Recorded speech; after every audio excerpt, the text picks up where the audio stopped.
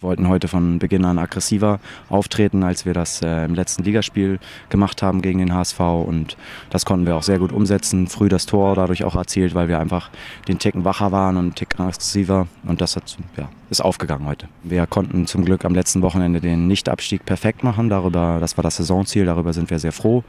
Wir wollen ähm, gegen Erfurt einfach ein gutes Spiel machen und äh, die spielen noch, bei denen geht es um alles und deswegen wollen wir da auch äh, für uns die beste Elf auf, auf, äh, aufs Feld bringen und ein vernünftiges Spiel abliefern. Dann haben wir eine ganz tolle Reise vor nach, nach Zürich, wo wir ein von der FIFA organisiertes Turnier spielen dürfen während der Woche. Und dann fliegen wir von da aus direkt äh, zurück äh, zur Hertha und äh, ja, lassen die beiden Spiele auf uns zukommen und äh, genießen jetzt auch einfach. Und dann haben wir ja auch schon das Halbfinale im Pokal.